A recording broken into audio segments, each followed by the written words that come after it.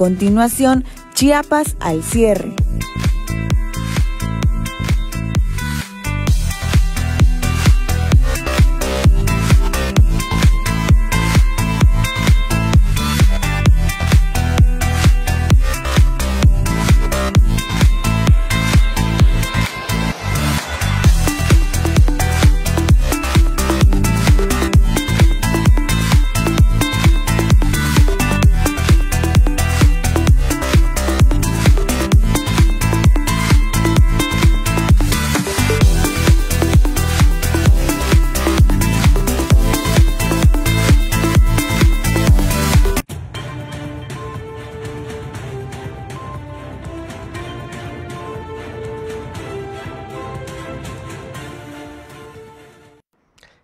Noches, ¿cómo está? Qué gusto saludarlo. El lunes 7 de la noche estamos empezando la semana en Chiapas al cierre. Soy Efraín Meneses y lo invito a que se quede con nosotros los siguientes 60 minutos, obviamente con lo más importante de Chiapas, de México y el mundo. ¿Qué le parece si comenzamos? Porque lo que hoy es noticia, mañana es historia. Esto es Chiapas al cierre. Más gas, siempre seguro y a tiempo. Presenta. De vagón a aula le platicaremos la historia de este espacio que se ha convertido en un aula. En Panorama Nacional, AMLO felicita a virtuales ganadores de elecciones.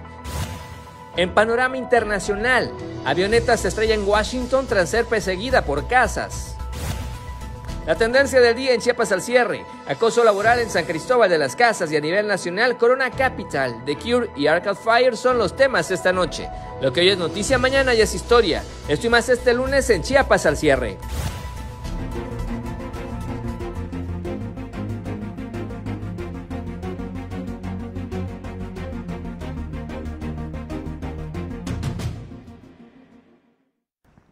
¿Qué tal? ¿Cómo está? Qué gusto saludarlo. Lunes iniciando la semana, son las 7 en punto, ya las 7 con uno. Qué bueno que está en sintonía y frecuencia con nosotros, completamente en vivo desde Diario Media Group, desde la torre digital, la torre multimedia de Diario de Chiapas, Diario Media Group, como le decimos. Y además, ya estamos en vivo en las plataformas digitales y en las redes sociales del Diario de Chiapas este día lunes 5 de junio, Día Mundial del Medio Ambiente. ¿Usted qué ha hecho por el medio ambiente? Es un día importante también para reflexionar. Gracias a la gente que nos ve y que nos escucha y que está iniciando la semana con nosotros. Recuerde, primero Dios, todos los días de lunes a viernes de 7 a 8 de la noche con lo más importante, por supuesto, de la mejor manera. ¿Y qué le parece si le recordamos las cuentas en redes sociales? Estamos en Twitter, en arroba diario Chiapas, para que usted nos pueda seguir, nos pueda compartir. Además, también estamos en la cuenta de Instagram, Diario de Chiapas Oficial, para que usted vea algunos de los videos, de los avances. También en TikTok estamos en la cuenta de Diario de Chiapas, la cuenta oficial. Y por supuesto, contigo a todos lados en la radio del diario 97.7 de frecuencia modulada perdón, en toda la zona metropolitana, la capital chiapaneca y muchos municipios cercanos a Tuxtla Gutiérrez. De paso, el saludo a Berriozábal, Radio Naranjo, la voz de Berriozábal 106.7 de frecuencia modulada y además Facebook Facebook, estamos en Diario TV Multimedia, Diario de Chiapas y el Facebook de la radio del diario. Así es que quédese con nosotros la tendencia el día de hoy para que nos haga llegar sus comentarios. Hay una denuncia por ahí, acoso laboral en San Cristóbal de las Casas. ¿Qué opina al respecto? Y por lo pronto, queremos platicarle a usted, ya iniciaron las lluvias, al menos en la capital chiapaneca se esperaban desde hace ya varias semanas y hoy ya llovió en varias partes de Chiapas en donde no había llovido, incluida la ciudad capital. Así es que es importante empezar a tomar las previsiones con las lluvias para que no sea sorprendido. Hoy con mucho viento en algunas partes de la capital chiapaneca. Ahorita estamos viendo imágenes de lo que ocurrió hace unos minutos sobre el libramiento sur, muy cerca de la torre multimedia de la torre digital de Diario Media Group, pero llovió en toda la ciudad, en algunos puntos con mayor fuerza, en otros muy leves, pero en, lo general con mucho viento. Así es que hay que ir tomando las previsiones. Ya estamos en la temporada de lluvias de manera oficial desde mayo, pero no se había generado esta intensidad de lluvia como la de hoy en la capital chapaneca. Un rato nada más, en algunos puntos fue mucho viento, eh, poca, poca agua, dirían por ahí. En otros puntos sí llovió con mayor intensidad. Lo cierto, como le decíamos, hay que empezar a prevenir y precaver para que no haya incidentes. ¿Qué le parece si vamos antes de iniciar con las cámaras que tenemos desplegadas en la capital chapaneca en diferentes puntos de Tuxtla, de Tuxtla Gutiérrez? Vamos primero a la zona de Plaza Sol, en donde efectivamente estamos pues viendo que hay tráfico muy fluido esta noche, para que usted pueda estar al pendiente, puede circular sin ningún problema en toda esta zona. Vamos a la incorporación hacia el libramiento norte, de poniente a oriente, y hay cuatro carros ahí amontonados tapando el pase peatonal. Eso no se debe hacer. Si usted va manejando, por favor, maneje con precaución. Hay cinco unidades, hay una moto también tapando el paso peatonal. La gente que tuviera que cruzar tendría que estarlos toreando para poder cruzar hacia el otro extremo, extremo perdón, y eso no es correcto. Por favor, Tenga mucho cuidado cuando maneje, respete los señalamientos de tránsito, respete al peatón, respete los semáforos para evitar los incidentes. Vamos más hacia el poniente, el crucero de Laguitos y Chapultepec, y aquí puede ver el tráfico bastante fluido. Vamos a la zona de la antorcha de solidaridad, muy cerca de la torre digital, la torre multimedia de Diario Media Group. Y bueno, ahí se ve el tráfico muy ligero esta noche, muy tranquilo, a diferencia de los fines de semana, los jueves y viernes se pone muy intenso por acá. Así es que por favor puede circular sin ningún problema en toda esta zona. ¿Y qué le parece si comenzamos el día de hoy con la editorial? Pero antes le quiero recordar a usted la tendencia que tenemos para que nos haga llegar sus comentarios. Hashtag acoso laboral en San Cristóbal de las Casas. Sus comentarios los esperamos. Puede mandarnos algún saludo de manera neutral, de manera positiva y sus comentarios. Por lo pronto comenzamos con la editorial del día de hoy. Editorial de Diario de Chiapas.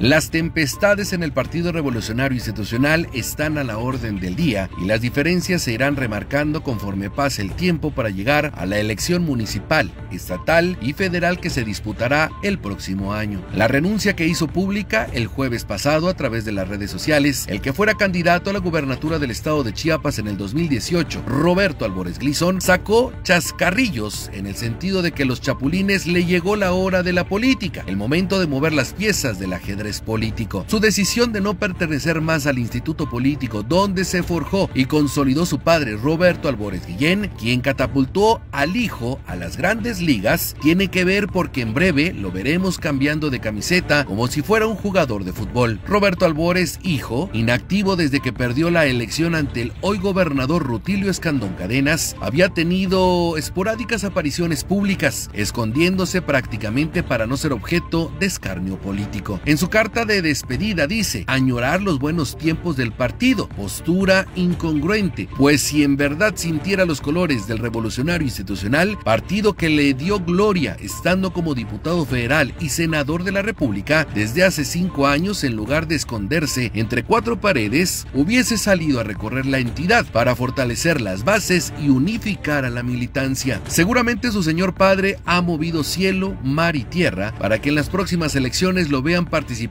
con una camiseta del Partido Verde Ecologista de México, buscando arañar una diputación federal o escaño en el Senado de la República. Aseguró en su carta de renuncia que se esforzó por hacer del PRI una organización democrática, cercana a la gente y efectiva, pero todo indica que no pudo, simplemente porque no es lo mismo caminar solo que están secundando por su padre. Además, en la misiva que seguramente le redactó su padre, asegura que hay prácticas políticas tradicionales cada vez más desalineadas con las expectativas y necesidades reales de la sociedad y por lo tanto sugiere desterrar la simulación y el engaño. Si así piensa, entonces, ¿por qué se fue? ¿Qué no era mejor agarrar al toro por los cuernos y trabajar desde abajo? Sin embargo, la carta que por cierto dirige al líder nacional del PRI, Alejandro Moreno Cárdenas, tuvo una rápida respuesta del Comité Directivo Estatal que dirige Rubén Suárez Quinca. Precisa que no es una sorpresa porque en realidad desde el 2018 había desaparecido del mapa, no tenía liderazgo ni presencia dentro de las bases y quienes lo acompañaron en su aventura hacia la gubernatura ya no estaban en el PRI y en dicho caso nunca se pronunció para criticar o fijar postura. Fue una renuncia innecesaria y por lo tanto hay que darle vuelta a la página, dijo el dirigente priista. Lo que pensamos es que no vale la pena el desgaste contra alguien que no ha servido al partido. Al contrario, no se puede premiar a los que se alejan.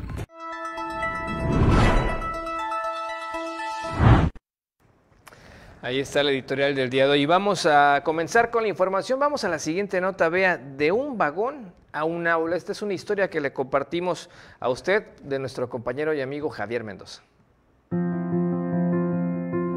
El combate al rezago educativo es un trabajo de todos como mexicanos, apoyando siempre a las nuevas generaciones y aportando esfuerzos materiales o intangibles para que los estudiantes no dejen las aulas. Este caso es uno de ellos. En el poblado de San Isidro, en el municipio de Marqués de Comillas, un trabajo comunitario y por parte de autoridades hicieron realidad un anhelo de estudiantes que pedían aulas dignas para cursar su ciclo escolar tomando la idea de la película El último vagón, en donde los pequeños protagonistas de una comunidad en el poblado de Puebla tomaron un viejo vagón de tren para modificarlo como un aula de clases. Esta misma acción fue replicada ahora en la vida real en San Isidro. Todo se generó al girarse instrucciones de entrar en liquidación de la escuela telesecundaria 1061 en Benemérito de las Américas, por razones de triplicidad de servicios se dieron a la tarea de no perder la clave escolar y llevar la oferta educativa a la Escuela Telesecundaria San Isidro, una comunidad de alta marginación. Desde hace 12 años, este poblado de Marqués de Comillas ha solicitado a las autoridades educativas del Estado una matrícula para que los estudiantes de la región pudieran tomar clases sin salir de la comunidad. Para lograr tener esta matrícula, los pobladores se abocaron a poner todos los esfuerzos para construir aulas provisionales y sanitarios en el terreno donado desde hace años atrás, teniendo la esperanza que un día les llegaría esta gran oportunidad. Los padres de familia involucrados en esta acción expresaron todo el beneplácito de tener un espacio humilde, sencillo, pero dignos para sus hijos y manifestaron el agradecimiento del apoyo al Comité de Padres de Familia de la Escuela Telesecundaria 1061 en Benemérito de las Américas por haberles donado mobiliarios y equipamiento para su escuela en extensión. Para Diario Media Group, Francisco Mendoza.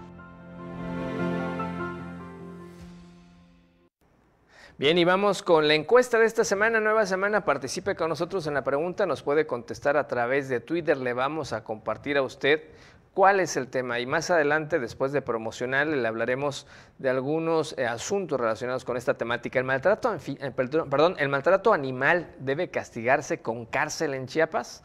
¿Qué piensa al respecto? ¿Maltrato animal debe castigarse con cárcel en Chiapas? Sí, prisión para maltratadores de animales o no es una medida exagerada. Son las dos opciones de respuesta. Por favor, contéstenos a través de la cuenta en Twitter, muy fácil, arroba diario Chiapas, y ahí estamos a su entera disposición. Sí, prisión para maltratadores de animales o no, porque es una medida exagerada. si gusta comentarnos en las redes sociales como Facebook, estamos esperando también su opinión. Por lo pronto, vamos a comerciales. Primer corte de esta noche. Regresamos con más en Chiapas al cierre. Carlos Fabre de Público y Privado. Tengo el gusto de anunciar que junto con el diario de Chiapas Media Group iniciaremos a partir del mes de junio, el día 6 para ser exactos, martes 6, una serie de programas de análisis denominado Los Suspirantes. Sí, retomamos los suspirantes como cada proceso electoral, donde tenemos dos mesas de análisis, una de periodistas y la otra de analistas expertos. No te lo pierdas a partir de este 6 de junio, Los Suspirantes.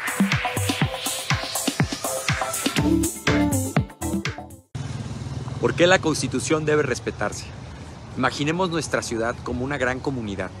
La Constitución es el contrato social que todos los ciudadanos hemos acordado para convivir de manera justa y equitativa. Al igual que respetamos las normas de convivencia en nuestro vecindario, respetar la Constitución significa acatar las leyes y principios fundamentales que nos rigen como sociedad. Esto asegura la igualdad de oportunidades, la protección de nuestros derechos y el bienestar de todos.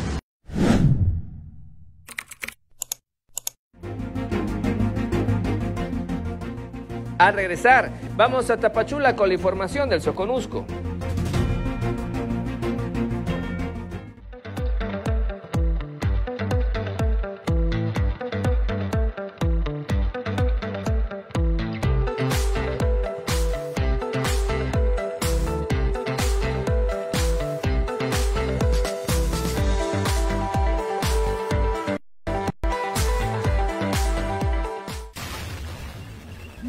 97.7. La radio del diario. Más música en tu radio. Lanzando nuestra señal desde la torre digital del diario de Chiapas, Libramiento Sur Poniente 1999. 97.7. Desde Tuxtla Gutiérrez, Chiapas, México. XHGTC, la radio del diario. Contacto directo en cabina 961-612-2860. Escúchanos también en línea. www.laradiodeldiario.com. 97.7, la radio del diario. Más música en tu radio.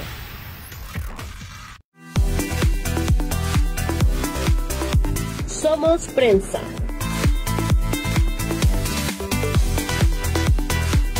Somos radio. Somos multimedia. Somos la plataforma más completa del sureste. Somos Diario de Chiapas. Libérate de las barreras que te impiden moverte. Libérate del exceso de celular y del clásico el lunes empiezo. Y escucha esa voz dentro de ti que te dice, libérate. Cuando te activas, te liberas. Actívate 30 minutos 5 días de tu semana. Conoce más en libérate.mx. Consejo de la Comunicación, voz de las empresas. Las noticias, las historias y las denuncias están en la calle. Y Felipe Lamilla las hace visibles. Ya basta de tener corruptos. Esos parásitos, esos bandidos que tenemos, ya no deben de estar aquí. Un espacio abierto para que tu voz tenga eco y tu denuncia sea escuchada.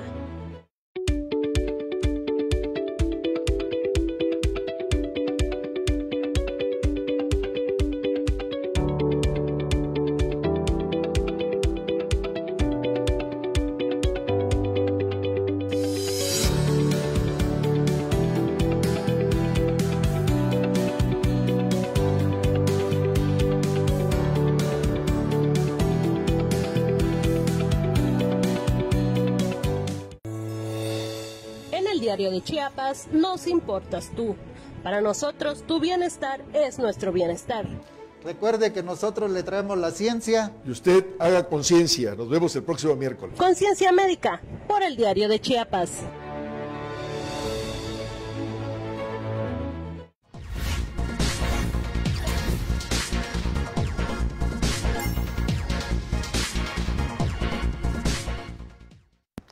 Qué bueno que sigue con nosotros. Ahora, ¿qué le parece si nos vamos hasta la sección de Hola Tapachula en la Perla del Soconusco?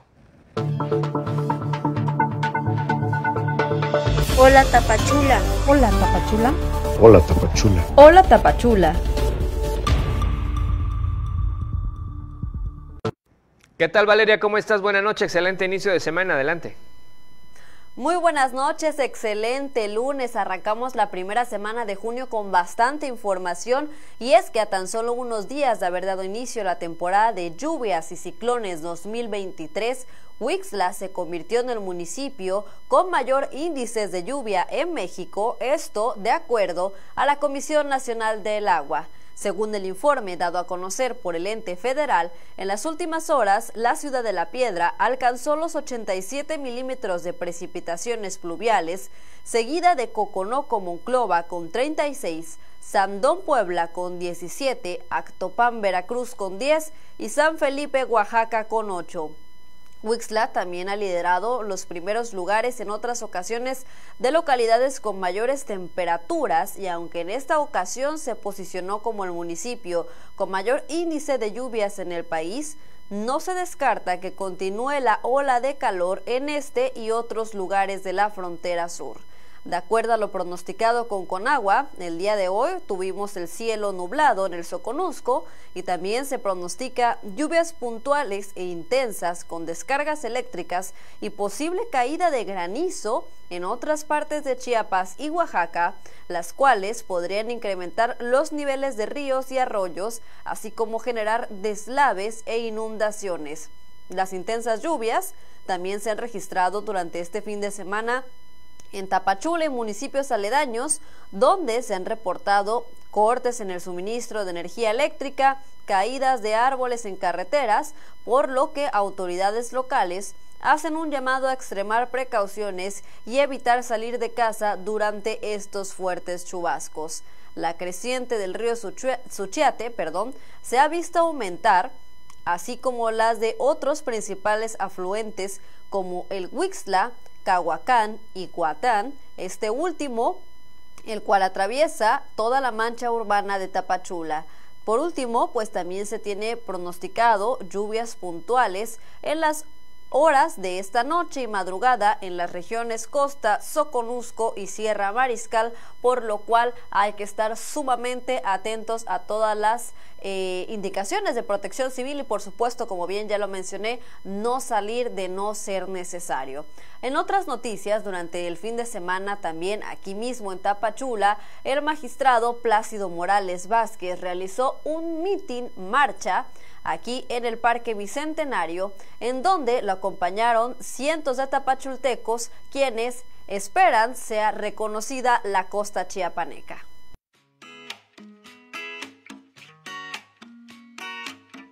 En Tapachula se llevó a cabo la marcha denominada Al pie del Tacaná, encabezada por el doctor Plácido Morales, quien reconoció el deseo de los habitantes del Soconusco para que esta costa de Chiapas sea respetada y reconocida en la entidad y en diferentes partes de la República Mexicana.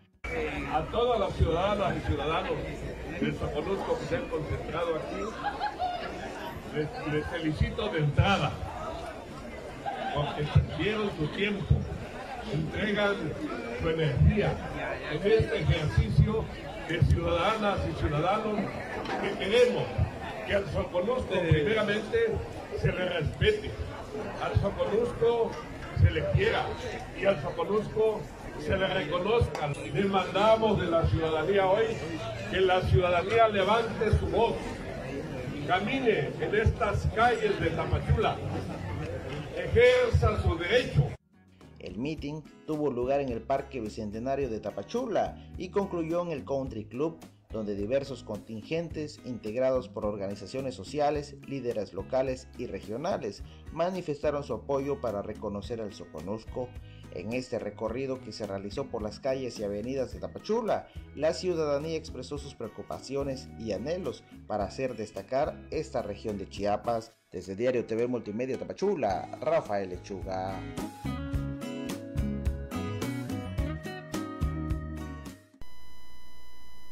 Hasta aquí las noticias el día de hoy. Por supuesto que nos vemos y nos escuchamos mañana con más información. Gracias Valeria, como siempre un excelente inicio de semana a ti y a todo el equipo. Vamos con otro tema y es que la UNACH realiza su segunda jornada de arquitectura.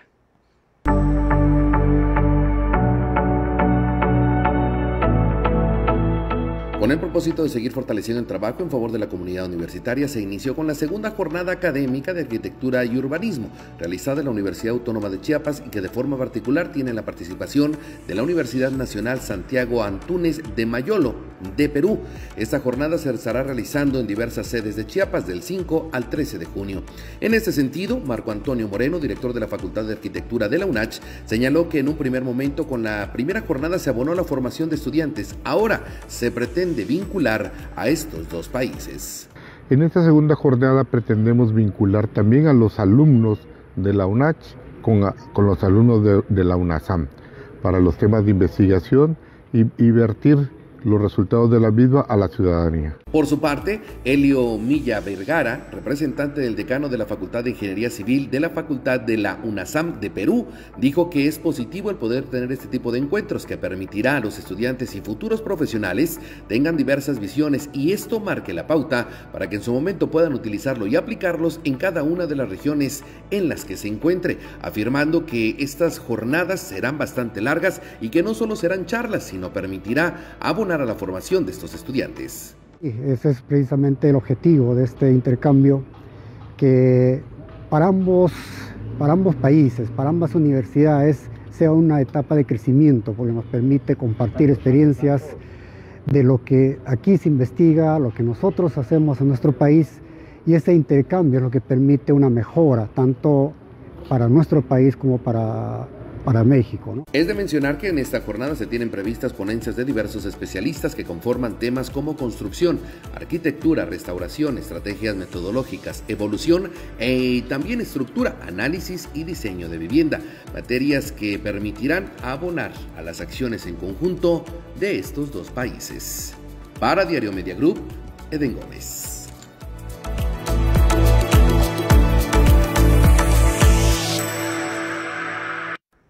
Y vamos a otro tema, retomamos la situación del maltrato animal que se ha estado viviendo en las últimas semanas, diferentes casos en todo el país y también acá en Chiapas. Y en ese sentido, pues especialistas dicen que este maltrato animal ya se ve con mayor fuerza o se visualiza con mayor fuerza entre la sociedad. Vamos al dato. Debido a los recientes casos de maltrato animal en el país, la ciudadanía de Chiapas ha optado por visibilizar todos estos casos a través de las redes sociales y se espera que se castiguen a los responsables ante la ley. En una entrevista con Franny Garibaldi, presidenta de Defensoría Animal MOC, nos comentó que gracias a las denuncias de las personas, este tema se ha reflejado aún más dentro de la sociedad y ha ayudado a que se lleve un buen avance para castigar a los responsables. Nosotros hemos estado trabajando, sabemos que en Chiapas no está tipificado el maltrato animal, no es un delito, no aparece dentro de nuestro código penal estatal. Por entonces, no podemos ir ante una vía penal a querellarnos en contra de maltrato o crueldad animal. Se tiene que hacer por una vía administrativa a través de los ayuntamientos, de alguna secretaría, según la Ley de Protección para la Fauna del Estado de Chiapas, y únicamente podemos lograr ahí amonestaciones, eh, multas de 5 a 100 días de salario mínimo, que puede ser hasta los 14 mil y cacho o casi 15 mil pesos, y máximo 36 horas de arresto. Indicó que es muy importante que la ciudadanía denuncie, ya que existen diversas maneras en las que persiste el maltrato animal. Eh, bueno, el maltrato animal empieza desde los descuidos de sus cuidados básicos desde ahí, desde la negligencia de que no le das de comer, no le das agua, desde ahí comienza ya un maltrato animal. No lo llevas al médico, desde ahí ya hay un maltrato animal, no lo vacunas. Desde o sea, la gente tiene la noción que el maltrato solo es agarrarlo a golpes, lastimarlo, este, abusar de los animales. No, el maltrato empieza desde esa negligencia, desde el primer punto del descuido de sus cuidados básicos, desde ahí inicia. Por otra parte, la ciudadanía de Tuzla Gutiérrez opina que el maltrato animal debería castigarse ante la ley. Pues nos hemos tardado mucho, es triste que las autoridades no vean la necesidad que hay, porque entre menos hacemos leyes, nos hacemos insensibles. La población ve el sufrimiento y como no está penado, no, no está visibilizado, entonces no lo tomamos en cuenta. Si hubieran leyes, nos detendríamos a ver que lo que está pasando con ese perro, ese gato, es violencia y que hay que poner atención en eso. Entonces yo creo que en la medida en que se hagan leyes, podemos hacerlo más visible. Sí, sí, porque está dañando a un ser vivo. Yo pienso que a Malaya quitaran las toreadas, porque imagínese el toro cuando le clavan las banderías, ¿qué siente? No habla, pero siente. Las peleas de gallo. ¿Ah? Ojalá lo quitaran todo eso porque son animales, está bien, no hablan, pero sienten. Para Diario Media Group, Carlos Rosales.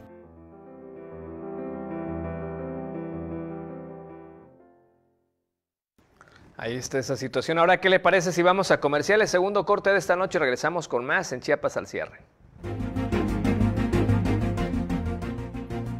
Después del corte, vamos a las nacionales.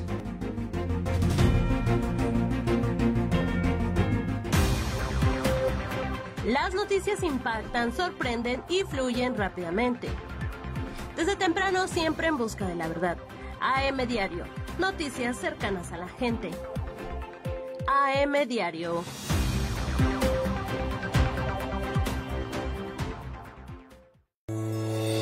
Z Cadena te invita para que cada miércoles a las 12 del día nos sigas a través de la torre digital de Diario de Chiapas. En este interesante programa Z Digital, análisis político y entrevistas. Cada miércoles a las 12 del día, Z Digital.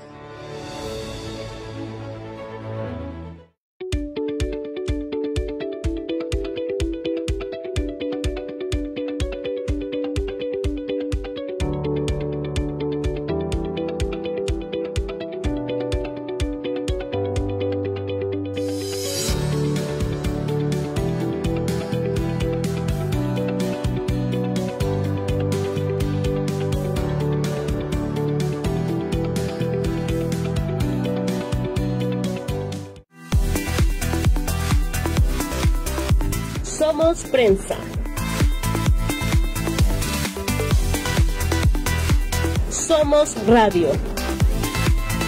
Somos Multimedia. Somos la plataforma más completa del sureste. Somos Diario de Chiapas. ¿Tienes una denuncia para nosotros? Escríbenos en nuestra página de Facebook, Diario de Chiapas, en Twitter, arroba Diario Chiapas, o llámanos a nuestras líneas del estudio 961-545-8888 y 961-116-0164. Diario de Chiapas Media Group.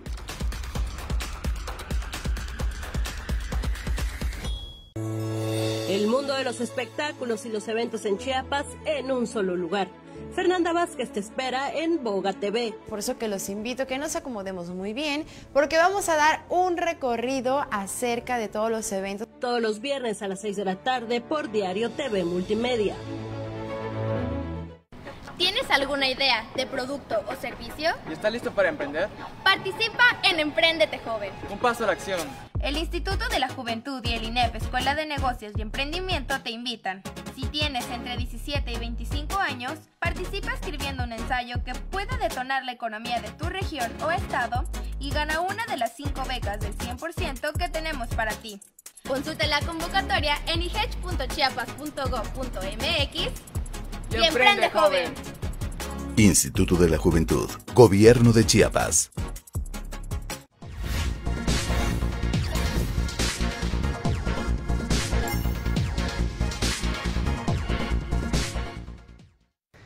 Seguimos de vuelta en Chiapas al cierre. Gracias por estar con nosotros, a la gente que nos está viendo en las redes sociales, pero sobre todo a quien nos está escuchando en la radio del diario 97.7 de FM. Y antes de irnos a más información, le quiero recordar a usted que tenemos precisamente una oferta para usted si tiene algo que guardar. Estamos hablando de las bodegas Guardalo, que están aquí en Chiapas, como coloquialmente hablamos, que le ofrecen 10 bodegas en renta hasta con un 40% de descuento, ideales para resguardar todo tipo de materiales y objetos de valor. Usted se puede comunicar al número telefónico 961-466-0710 o en su página de Facebook como Bodegas Guardalo Chiapas. No se quede sin rentar una mini bodega con los mejores que son los de Bodegas Guardalo aquí en Chiapas. Ahora sí, vamos a las nacionales. Hola, ¿qué tal? Muy buenas noches. Es un gusto acompañarlos en este lunes iniciando la semana. Saludo con mucho gusto a los que nos escuchan en el 97.7 FM, la radio del diario, y a los que nos ven en las diferentes plataformas de Diario de Chiapas. Mi nombre es Alejandra Domínguez y bienvenidos a la Información Nacional. El presidente Andrés Manuel López Obrador felicita a Manolo Jiménez y a Delfina Gómez por ganar las elecciones en Coahuila y Estado de México. Acompáñame a ver las nacionales del día de hoy. Durante su conferencia de prensa matutina, el presidente Andrés Manuel López Obrador felicitó a los virtuales ganadores de las elecciones celebradas el 4 de junio en Coahuila y el Estado de México, Manolo Jiménez y Delfina Gómez respectivamente. Celebró que la población asistiera a ejercer su derecho al voto y que las jornadas electorales se dieran sin contratiempos, sin violencia y sin incidentes mayores. No hubo problemas mayores, la gente participó y no hubo protestas proselectorales. Los segundos lugares salieron a reconocer a quienes tuvieron más votos. Una cosa es partido y otra cosa es gobierno, dijo el mandatario. Aseguró que va a contactar a los ganadores posteriormente para ofrecer el apoyo del gobierno federal en sus gestiones. Agregó que con la victoria de Gómez en el Estado de México, Morena gobernará en 22 de los 32 estados de la República. Sobre las elecciones del próximo año, Andrés Manuel López Obrador dijo que van a ser los ciudadanos los que van a decidir. El presidente afirmó que no va a haber dedazo ni inclinará la balanza para los candidatos presidenciales de Morena. Y este lunes 5 de junio sigue el avance de la tercera ola de calor de la temporada, por lo que se pronostican temperaturas superiores a los 40 grados, las cuales incluso podrían rebasar los 45, de acuerdo con un reporte del Servicio Meteorológico Nacional. El organismo dependiente de la Comisión Nacional del Agua indicó que las siguientes entidades tendrán días extremadamente calurosos con temperaturas de hasta 45 grados. Baja California, Campeche, Chiapas, Guerrero, Jalisco, Michoacán, Nayarit, Quintana Roo, Sonora, Sinaloa, Tabasco y Yucatán. Así como también se espera la presencia de lluvias en varios estados de nuestro país, principalmente aquellos cuyos mares desembocan del lado del Océano Atlántico. El Servicio Meteorológico Nacional prevé lluvias intensas en los estados de Chiapas, Oaxaca, Tabasco, Yucatán, Veracruz y Quintana Roo. En otra información, en Sonora, abogados, padres y sobrevivientes al incendio de la guardería ABC, donde murieron 49 bebés en Hermosillo, Sonora, denuncian que la impunidad persiste a 14 años del siniestro, una de las mayores tragedias del país en la historia reciente. Los padres han denunciado que existe complicidad entre el gobierno de México y la Suprema Corte de Justicia de la Nación para que el crimen permanezca impune. Ha pasado casi una década y media desde el hecho, pero nadie está en prisión por su responsabilidad en el incendio, y aunque se han fincado responsabilidades a más de 20 exfuncionarios públicos, muchos han muerto y quienes están vivos no han recibido sentencia.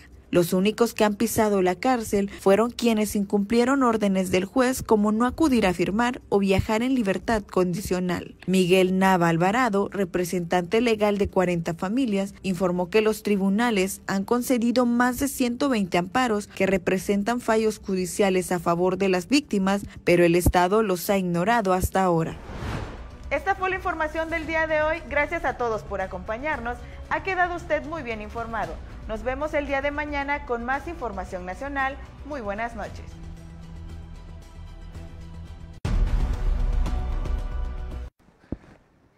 Bien, ahí estaba la información nacional. Y bueno, así como en algunos lugares no respetan a los animales y obviamente generan todo este tipo de maltratos que ya está a la vista de la sociedad y se están generando manifestaciones, agrupaciones se andan eh, precisamente organizando para exigir mejores regulaciones al respecto.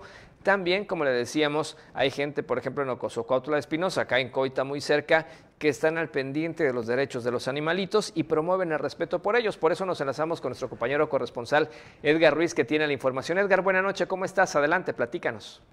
Buenas noches, Efraín. Sí, como bien mencionas, eh, pues ha causado ya ves controversia el tema de los animales, el maltrato a nivel, tanto a nivel nacional, a partir de lo que ocurriera en el Estado de México. Por ello, autoridades de este municipio han colocado ya señalizaciones con, con el fin de hacer conciencia en una actividad que también ha sido promovida por quienes eh, se encargan del rescate a los eh, a las mascotas en este municipio.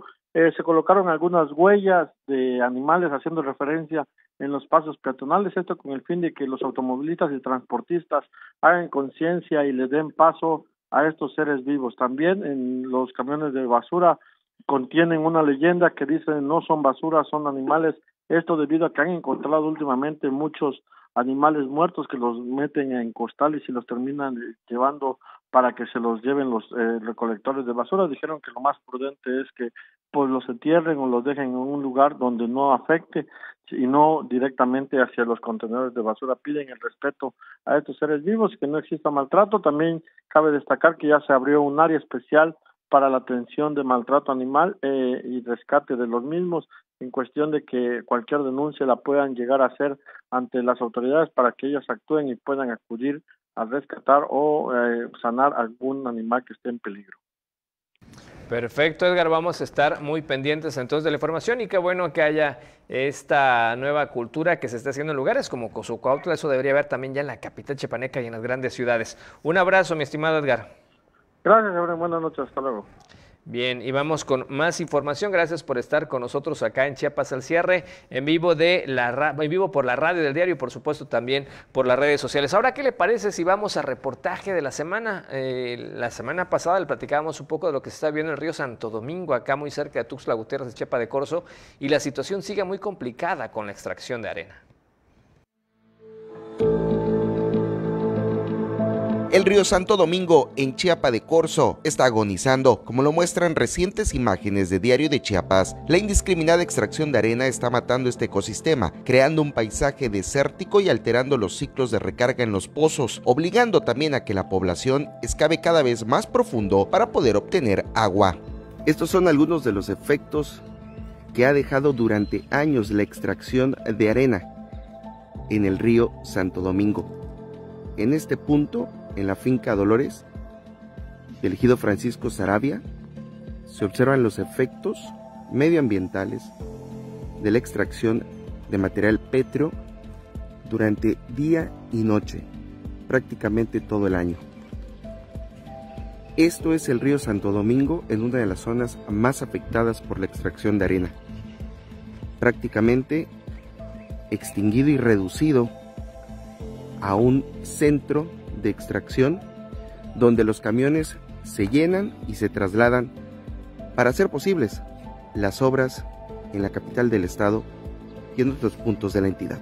Desde la finca Dolores, que se ubica a pocos kilómetros del Aeropuerto Internacional Ángel Albino Corso, se pueden observar los efectos de la depredación que por años han denunciado los habitantes de diferentes localidades que se ubican cerca de este río. Las ceibas están muriendo. Cuando llueve ocurren inundaciones que provocan deslaves y hundimientos y en temporada de sequía se pueden observar los efectos del dragado como si de un terreno desértico se tratase.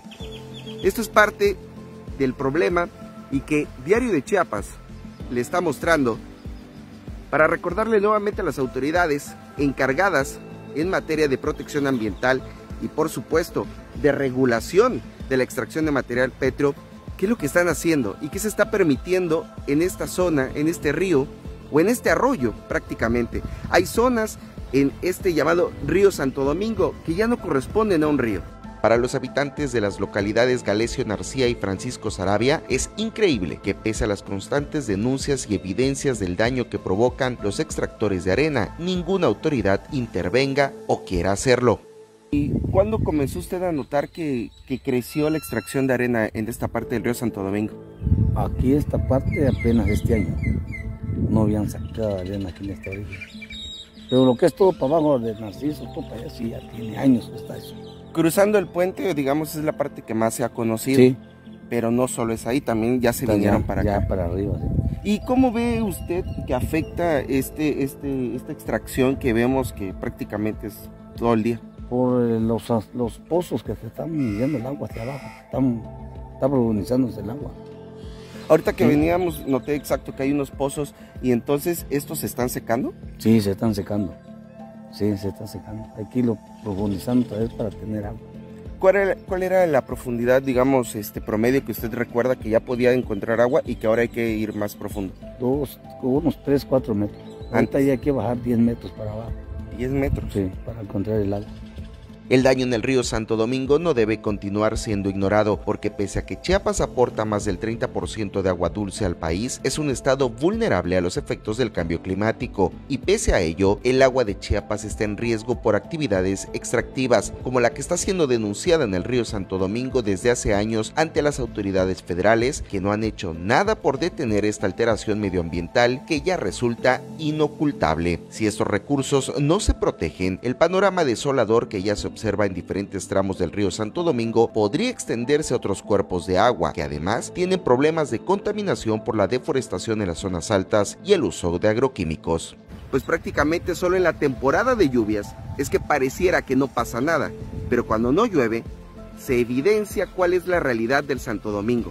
Es un depósito de arena al aire libre que siguen extrayendo sin control día y noche todo el año. Para Diario Media Group, Marco Antonio Alvarado.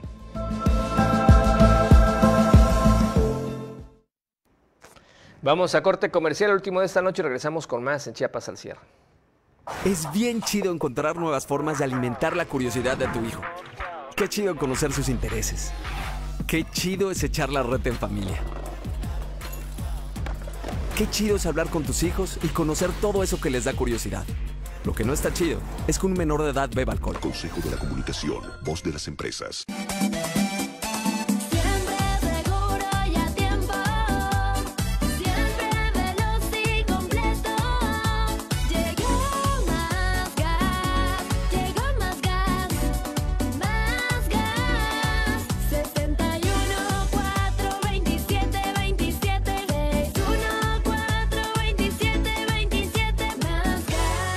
Más gas, siempre seguro y a tiempo.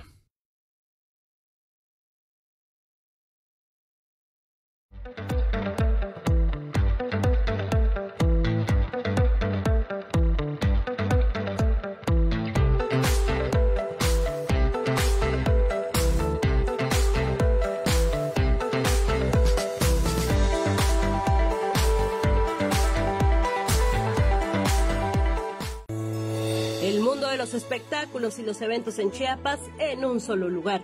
Fernanda Vázquez te espera en Boga TV. Por eso que los invito a que nos acomodemos muy bien, porque vamos a dar un recorrido acerca de todos los eventos. Todos los viernes a las 6 de la tarde por Diario TV Multimedia. No te pierdas tu programa Beauty Tips by Lore Alto en punto de las 6 de la tarde a través de todas las plataformas de Diario de Chiapas Televisión. Les tenemos magníficas sorpresas para consentirlos.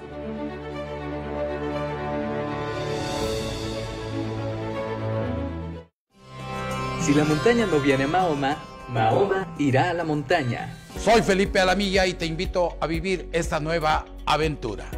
Denunciemos a esos lacras y parásitos de la sociedad. Estaremos a través de la plataforma de la Torre Digital del Diario de Chiapas y de la 97.7 FM. Espéranos en tu colonia. Y recuerda que denunciar es un derecho y una obligación. No se dejen.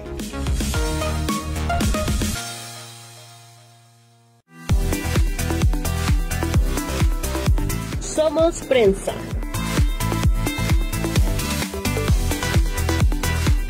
Somos radio. Somos multimedia. Somos la plataforma más completa del sureste. Somos Diario de Chiapas.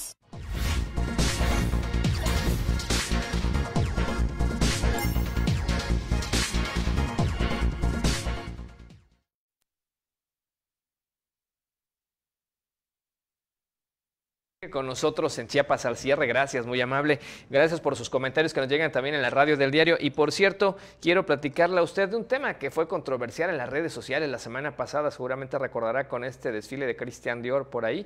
Y resulta que las marcas de moda no plagian, pero sí restan importancia a los textiles. Vamos a la información. Las marcas de diseño de moda lo volvieron a hacer la empresa minorista de ropa francés, Dior, volvió a generar polémica luego de presentar la colección Crucero 2024, en el que modelos lucieron una prenda similar al pocul, vestimenta tradicional de las y los habitantes de Sinacantán, pero con alteraciones en los bordados y omisión de elementos clave del textil indígena. De tal forma, la directora general del Consejo Estatal para las Culturas y las Artes de Chiapas, Matza Maranto Cepeda, dio a conocer que la promoción de textiles chiapanecos por parte de marcas internacionales, dado el reconocimiento a los autores o autoras de las piezas, no es un problema, sino que el inconveniente o contrariedad recae en que los diseñadores o marcas restan importancia al verdadero significado que cada bordado tiene y con ello quien adquiere las prendas a través de la marca desconoce el verdadero proceso y lo que implica llegar al producto final.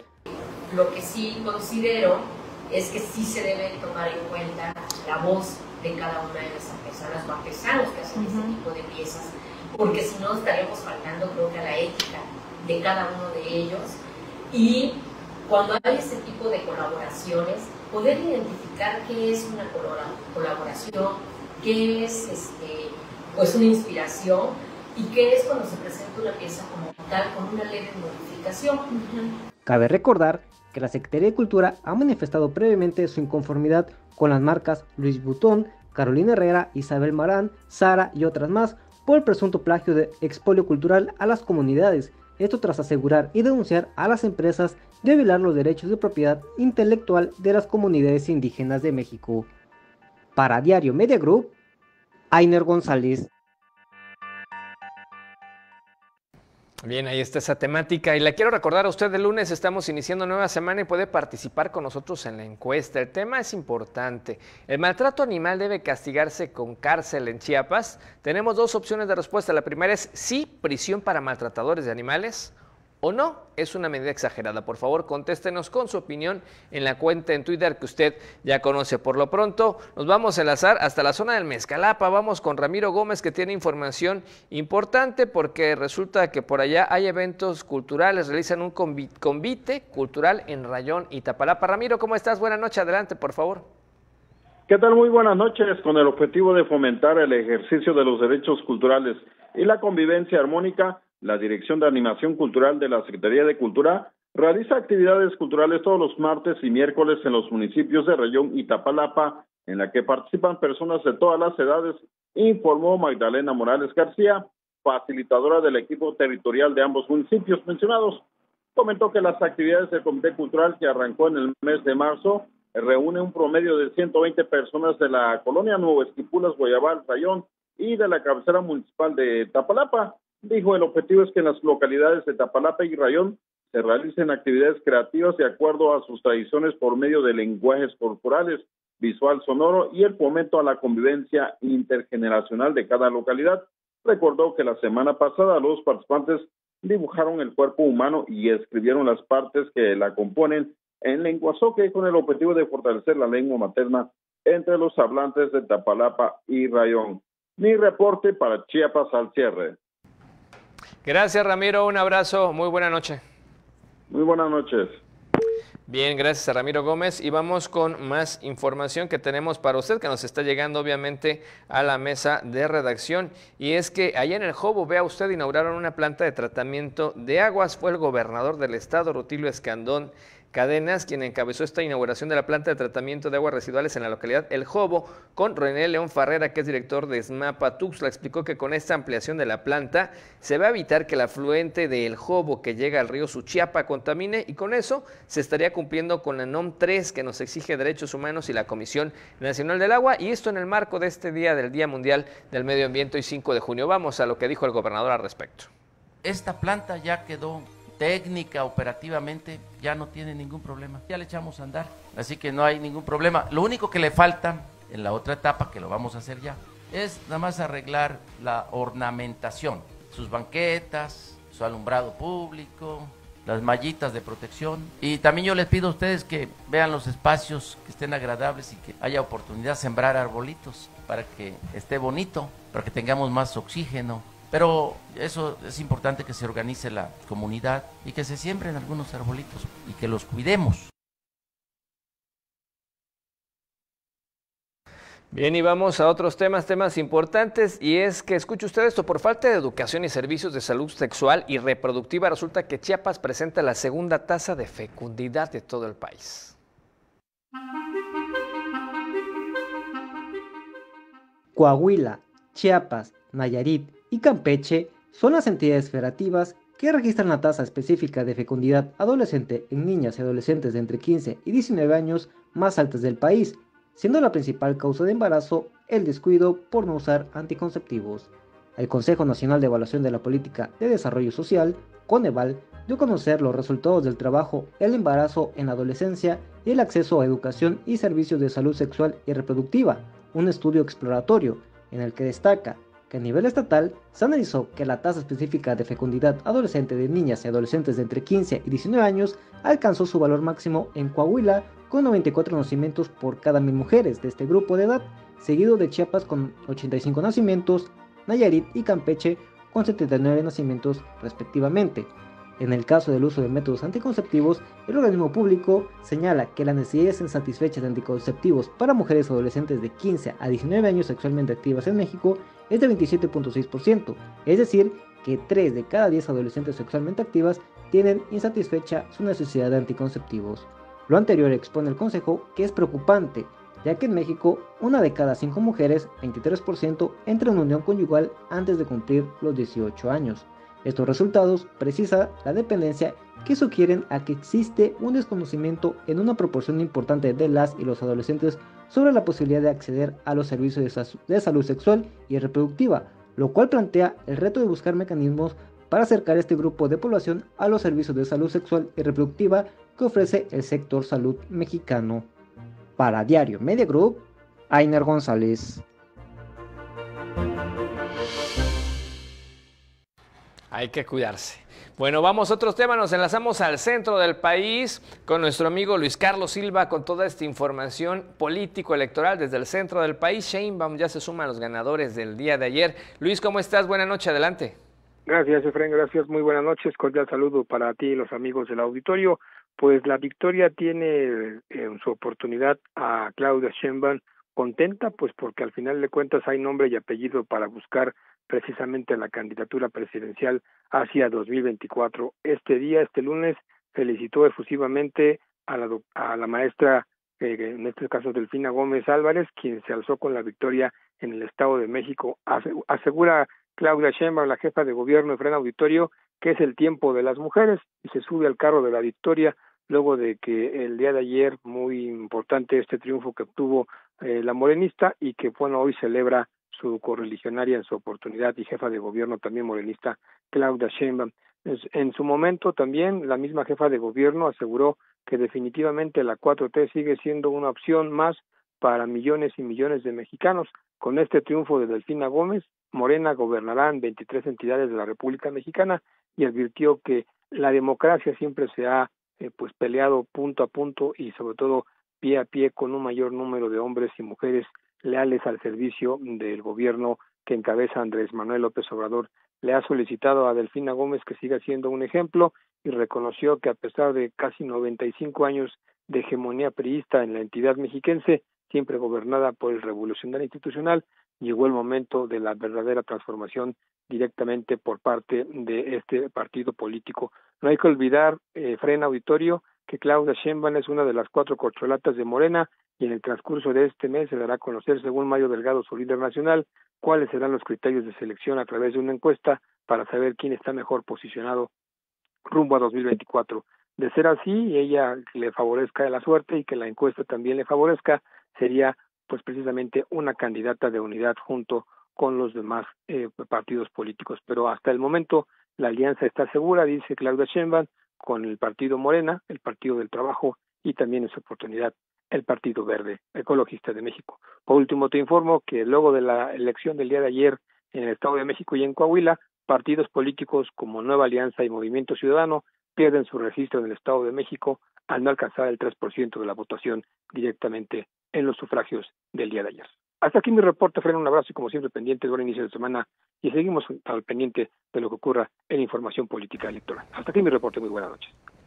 Gracias, mi estimado Luis. Un abrazo, excelente inicio de semana y sin duda ayer fue un domingo con muchísimo trabajo en el centro del país. Estamos pendientes, excelente inicio de semana. Como decíamos, buen lunes. Te escuchamos el día de mañana. Con todo gusto, buenas noches. Bien, y con esta información estamos llegando al final del día de hoy. Gracias por habernos acompañado este inicio de semana. Hoy lunes, mañana 7 de la noche, primero Dios. Esperamos estar por acá en Chiapas al cierre. Mientras tanto, disfrute el resto de esta noche como usted ya sabe y como tiene que ser, de la mejor manera.